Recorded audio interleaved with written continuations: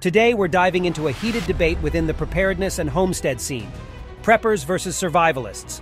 Who comes out on top? Which approach is more effective? Buckle up, because we're about to explore the controversial world of prepping and survivalism. Now, before we dive in, let's clarify what we're talking about here. Preppers are those who take preparedness to the next level. They envision worst case scenarios, stockpiling supplies, and creating sustainable systems to weather any storm. Survivalists, on the other hand, are all about immediate survival in extreme situations. They focus on developing essential skills and adaptability. So, who's got the upper hand?